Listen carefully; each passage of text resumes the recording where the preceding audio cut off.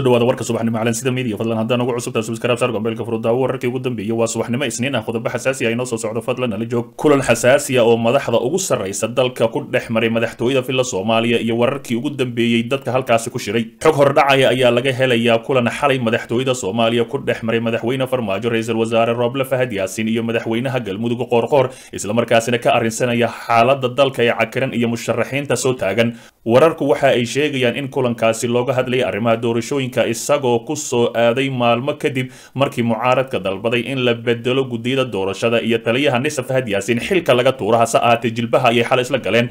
Waxaa aad u yar xogta rasmiga ah ee calansida media ay ka helayso kulankaasi balse saraakiil ka tirsan madaxtooyada ayaa shaaciyey in diiradda lagu saaray doorashada iyo tabashooyinka laga qabo arrintaasi. Madaxweynaha galmudug ayaa sheegay inuu horay mucaaradka ugu aqbalay inuu bedeli doono xubnaha galmudug ku matala guddiyada laga cabanayo balse uu ballankaasi fuli doono.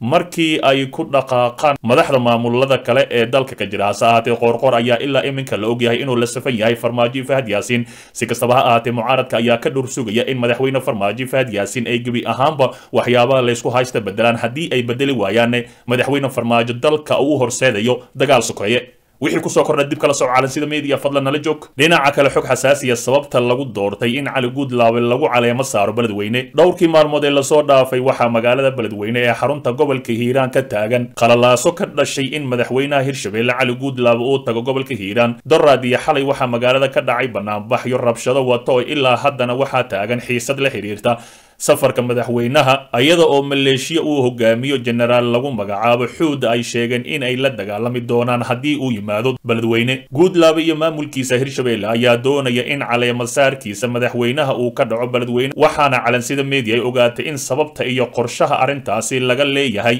ay tahay. Madaxweyne ku-xigeenka hirshabeelle yuusuf axmed xagar dabageed ayaa sheegay in sababta beledweyne loogu doortay in munaasabada caleemasaarka lagu qabto ay tahay in loo soo wareejiyo xarunta maamulka ama laga dhigo iyada oo hadda ay tahay jowhar halkaasina lagu dhawaaqo si rasmi ah inay beledweyne caasimad noqoto. Dastuurka waxa uu dhigayaa in caasimada lagu caleemo saaro madaxweynaha marka beledweyne waxay noqon doontaa caasimada rasmiga ah ee maamulka ayuu yidhi madaxweyne ku-xigeenka hirshabeelle caasimada iyo wasiirka arrimaha gudaha haddii aan u keeni waayo shacabka hiiraan aniga ayaa xilka ka tegaya ayuu yidhi yuusuf dabageed oo la hadlayay warbaahinta beledweyne. Xilli beeshiisa xawaadle ay ku dhaliishay inuu xilkaasi qaatay xilli ay doonayeen xilka madaxweynaha ugu sarreeya hirshabeelle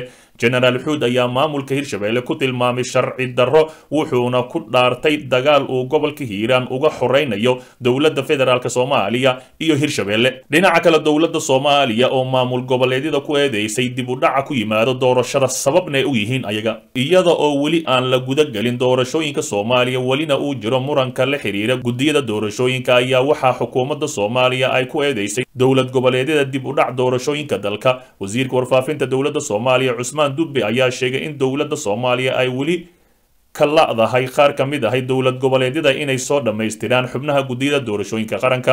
Wasiir dubbe oo ka qayb galay barnaamijka dood wadaag ahi oo ka baxaya tv-ga universal ayaa waxa uu hadalkiisa intaasi ku daray in gaabis kasta ee ku yimaada doorashooyinka soomaaliya aysan mas'uul ka ahayn dowladda federaalk soomaaliya. Hadalkani ka soo yeeray wasiirka warfaafinta dowladda soomaaliya cusmaan dubbe ayaa waxa uu ku soo aadayaa xilli weli uu muran ka taagan yahay guddiyada doorashooyinka islamarkaasina ay tahay in doorashada xildhibaan aqalka sare ay dhacdo bisha disembar ee maalmo qura ay ka harsan tahay islamarkaasina haddii ay dhici wayso wax walba hay isku qasmi doonaan halkaasina khalalaaso siyaasadeed uu galayo dalka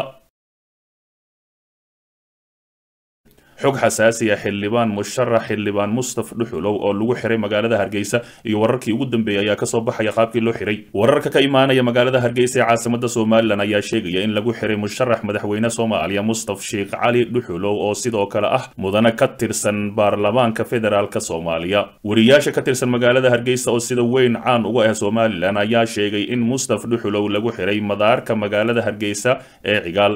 Dhuxulow ayaa lagu soo waramayaa inuu ku xiran yahay saldhig ku yaalla garoonka diyaaradaha ee hargeysa kaasi oo loo taxaabay kadib markii ciidamada booliiska ay ka qabteen madaarka xilli uu ka soo degayay diyaarad soo caga dhigatay garoonka diyaaradaha ee hargeysa ee cigaal.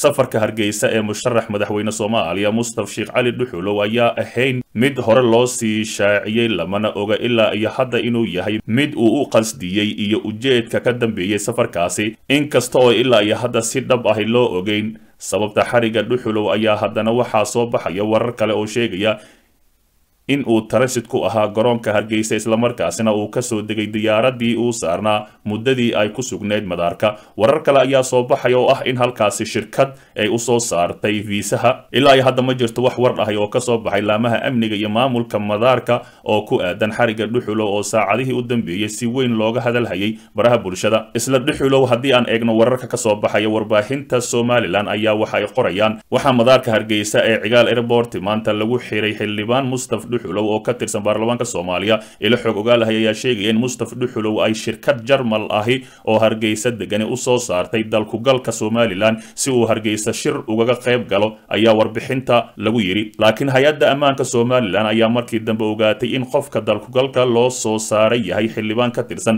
baarlamaanka soomaaliya iyadoona xabsiga loo taxaabay mustaf dhuxulow musharax mustaf dhuxulow ayaa saraakiisha madaarka ee hargeysa tusay dalkugalka uu sitay kaas oo markii dambe la laalay lana joojiyey islamarkaasina xabsiga la geliyey. Waxaa macquul ah in saacadaha soo socda dib loo soo celiyey xildhibaanka. Hase ahaatee weli qolada ammaanka ee hargeysa weli ma shaacin. Si kastaba ha ahaatee xildhibaan mustaf dhuxulow oo qaraabo dhow la ah ra'iisul wasaarihii hore soomaaliya xasan cali kheyre ahna musharax xilka madaxweynaha soomaaliya. Dhinaca kale war culus soomaaliya oo ceyrisay safiirka kenya ee muqdisho una yeeratay safiirkeeda dalkaasi kenya. Dowladda federaalk soomaaliya ayaa dalka ka ceyrisay safiirka dowladda kenya iyadoo ku amartay inuu dalkiisa ku laabto sidoo kalena waxay u yeeratay safiirkeeda ka jooga nairobi maxamed axmed nuur tarsan dowladda soomaaliya ayaa kenya ku eedeysay inay faragelin qaawan ku hayso arrimaha gudaha soomaaliya islamarkaasina ay madaxweynaha jubbaland la kaashanayso sidii ay u fashilin lahayd heshiiskii doorashada dowladda federaalk soomaaliya waxaa u muuqata in dowladda kenya ay si bareer ahi u faragelinayso arrimaha gudaha